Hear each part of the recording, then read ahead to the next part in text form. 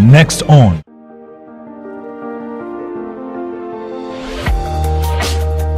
This is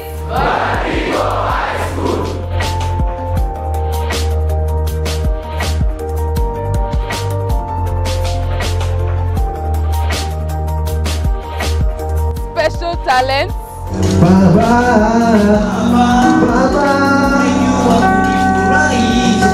Check out this week's wise word.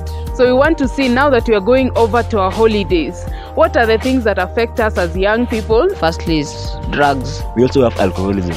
This is what we looked at in the Word of God. But I want to thank God because He is also active among our young people in our nation to tell you that I have I have good plans for you. You are my idea.